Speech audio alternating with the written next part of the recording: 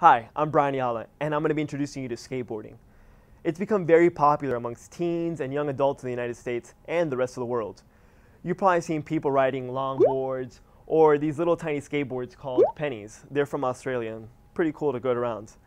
But today I'll be talking about the regular skateboard, the one that you can do all the fancy maneuvers and freestyle tricks. Now let's take a look to see how it's assembled.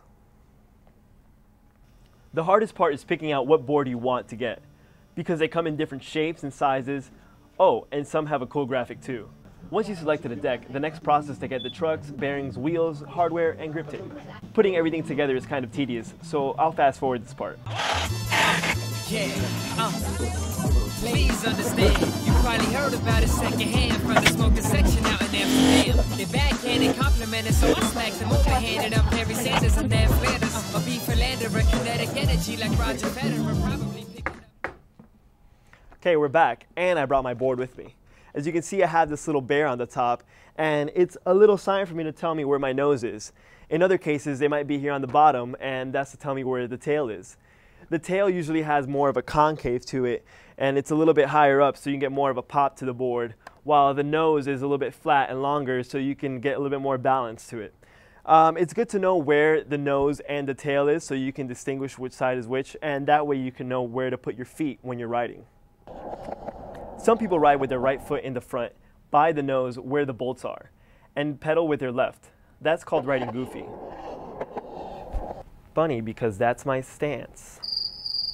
Riding regular is the opposite movement with your left foot in front and pedaling with your right.